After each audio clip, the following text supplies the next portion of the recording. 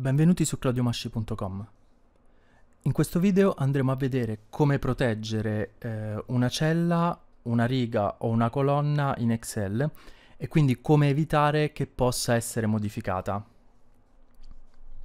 Per farlo, intanto la prima cosa da fare è eh, segnalare tutte le celle come modificabili, quindi clicchiamo sul triangolino presente tra l'1 e la A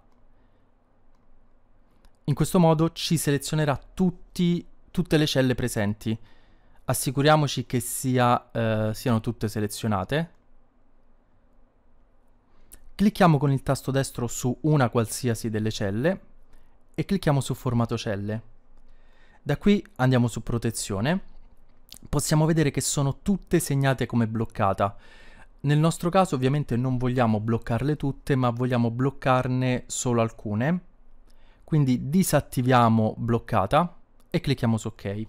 In questo modo tutte le celle saranno modificabili. In realtà nella normalità questa opzione non serve a nulla perché se non proteggiamo il foglio di lavoro ovviamente non serve a niente, però ci servirà dopo. Adesso ad esempio andiamo a inserire dei valori nelle prime tre celle. Ok e voglio che queste tre celle invece siano bloccate, quindi voglio che questi valori non siano modificabili, quindi clicco con il tasto destro, vado su formato celle, protezione e in questo caso attivo bloccata. Clicco su ok. A questo punto clicco su revisione, seleziono proteggi foglio, qui abbiamo o proteggi foglio o proteggi cartella di lavoro. Se selezioniamo proteggi foglio andiamo a proteggere semplicemente questo foglio, quindi il foglio 1, nel caso in cui dovessi avere anche un foglio 2 non sarebbe protetto. Se volessi proteggere tutti i fogli della mia cartella di lavoro, ovviamente dovrei selezionare proteggi cartella di lavoro. Al momento comunque non mi interessa, quindi ritorno su foglio 1 e clicco su proteggi foglio. A questo punto lascio tutte le impostazioni così come sono e inserisco una password. Clicco su ok, mi chiederà di confermare la password a questo punto il foglio è protetto. Se io vado a inserire un contenuto in qualsiasi altra cella funzionerà. Se vado a modificare la cella che ho bloccato mi dirà che eh, sono su un foglio di lavoro protetto e devo rimuovere la protezione.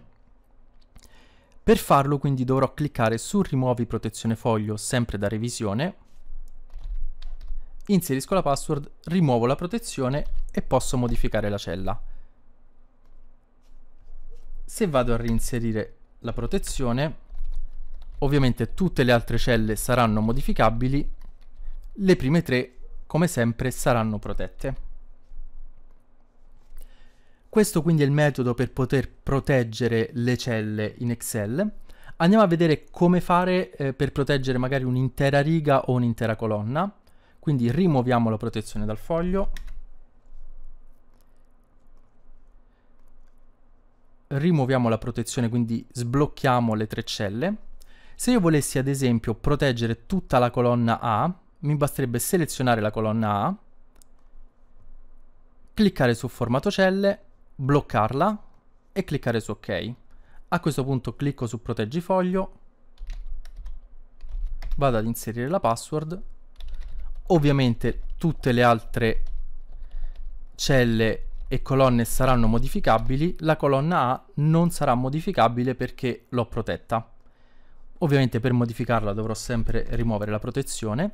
Posso fare la stessa cosa sia per le colonne, quindi cliccando sulla lettera della colonna, sia per quanto riguarda le righe cliccando sul numero della riga, quindi posso eh, bloccare sia colonne che righe. È importante ricordare che se ho bloccato qualcosa eh, la dovrò necessariamente sbloccare. Se non mi ricordo quali sono le celle che ho bloccato, mi basterà cliccare nell'angolo, cliccare su formato celle e cliccare due volte su bloccata. In questo modo sblocco tutte e vado semplicemente a riselezionare quelle che voglio andare poi a bloccare.